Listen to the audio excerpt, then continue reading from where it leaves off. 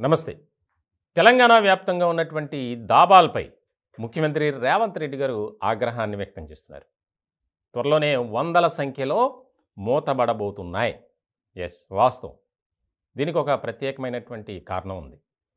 తెలంగాణ వ్యాప్తంగా వేల సంఖ్యలో దాబాలు ఉన్నాయి హైవేల పక్కన కానీ గ్రామాల్లో కానీ ఎక్కడ పడితే అక్కడ విచ్చలవిడిగా ఎలాంటి అనుమతులు లేకుండా దాబాలు దర్శనమిస్తున్నాయి. ఇటువంటి సందర్భంలో దాబా మాటున చాలా అసాంఘిక కార్యకలాపాలు సాగిస్తున్నారు అనేది ఒక నిర్ధారణకి వచ్చారు రేవంత్ రెడ్డి. ఇట్లాంటి క్రమంలో తాజాగా ఒక ఘటన కూడా జరిగింది కోదాడలో. ముఖ్యంగా కొంతమంది దాబాకి వెళ్ళారు అక్కడ మద్యం సేవించారు. మద్యం సేవించిన తర్వాత డబ్బులు చెల్లించే విషయంలో యాజమాన్యంతో వివాదం స్టార్ట్ అయింది.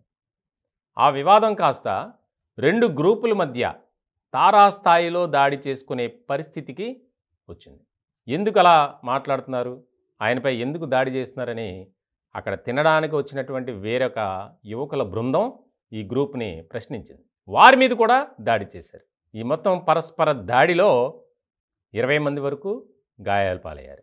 విషయం తెలుసుకున్నటువంటి సమీపంలో ఉన్నటువంటి పోలీసులు అక్కడికి వచ్చారు. ఎస్ఐతో పాటు హెడ్ కానిస్టేబుల్ కానిస్టేబుల్ ఇంకా కొంతమంది వచ్చారు. వారి మీద కూడా దాడి చేశారు. అంటే అంతకుముందు ఎప్పుడో అక్కడికి చేరుకున్నటువంటి ఒక మోక సమీపంలోనే గంజాయి సేవించి మద్యంతో ఆ దాబాకి వెళ్ళారు. అక్కడ మద్యం సేవించిన తర్వాత వారు చెప్పినటువంటి ఫుడ్ ఆర్డర్ ఏదైతే ఉందో అది కూడా తిన్నారు. డబ్బులు చెల్లించే విషయంలో గొడవ జరిగింది. అంటే ఎంత విచక్షణారహితంగా దాడి చేశారంటే వారు చాలామంది సీరియస్గా ఉన్నటువంటి కండిషన్.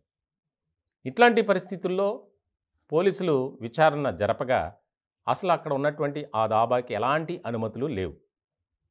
అక్కడ జరిగే అసాంఘిక కార్యకలాపాలు మద్యం గంజాయి అన్నీ అక్కడ దొరుకుతాయి.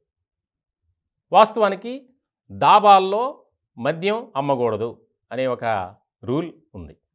కానీ తెలంగాణ వ్యాప్తంగా ఎక్కడా కూడా దాన్ని పాటించట్ల. ఎక్కడ చూసినా హైవేల పక్కన కిలోమీటర్కి ఒక్కొక్కటి ఉంటుంది. ఇట్లాంటి సందర్భంలో వాటిని లిస్ట్ అవుట్ చేయండి. ఎవరైతే కరెక్ట్గా కొన్ని ఫ్యామిలీ దాబాలు ఉంటాయి అక్కడైతే సక్రమంగానే అన్నీ ఉంటాయి. కొన్ని మాత్రం ఇంకో ఈ అసాంఘిక కార్యకలాపాలకి కేర్ ఆఫ్ అడ్రస్గా మారినటువంటి పరిస్థితి. ఇటువంటి నేపథ్యంలో జరిగినటువంటి ఘటన కారణంగా ముఖ్యమంత్రి రేవంత్ రెడ్డి గారు ఉన్నతాధికారులకి ఒక ఆదేశం జారీ చేశారు. దానికి సంబంధించి ఇప్పుడు తెలంగాణ వ్యాప్తంగా ఉన్నటువంటి దాబాలపై నిఘా పెట్టారు. కొంతమంది ఆ ప్రాంతంలో బీఆర్ఎస్ నాయకుల అండదండలతో నిర్వహించబడుతున్నటువంటి దాబాలే ఎక్కువగా ఉన్నాయట. ఇది చాలా కీలకమైనటువంటి అంశం ఇది. వాటిని కూడా ఫైండ్ అవుట్ చేశారు. మొత్తం లిస్ట్ అవుట్ చేసిన తర్వాత వాటిని అధికారులే ముయించబోతున్నారు త్వరలో. ఎందుకనంటే ఇటువంటి యువకులు చిన్న చిన్న పిల్లలు కూడా నైటు దాబాలకు వెళ్ళడం అక్కడ మద్యం సేవించడం తర్వాత జరిగే పరిణామాలు మనకు తెలుసు. రోడ్డు ప్రమాదాలు కానీ లేదా పరస్పర దాడులు కానీ యువత జీవితం నాశనం అయిపోతుంది. ఇట్లాంటి సందర్భంలో దాబాలపై ఖచ్చితంగా కఠిన చర్యలు తీసుకోవాల్సిందే. ఏవైతే ప్రభుత్వం నియమించినటువంటి నియమ నిబంధనలు ఉన్నాయో వాటి ప్రకారం నిర్వహించబడుతున్నటువంటి ఫ్యామిలీ దాబాలకే తెలంగాణలో పర్మిషన్ ఉంటుంది.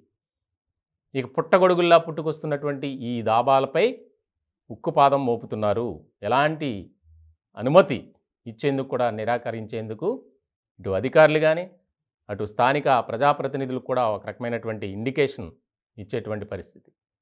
ముఖ్యంగా ఇది చాలా శుభ పరిణామం కిందే మనం చెప్పుకోవాలి. ఎందుకనంటే తెలంగాణ వ్యాప్తంగా ఎన్నో దాబాలు. ఆ దాబాల్లో మద్యం గంజాయి మత్తు పదార్థాలు అన్నీ దొరుకుతున్నాయి. పేరుకే దాబా.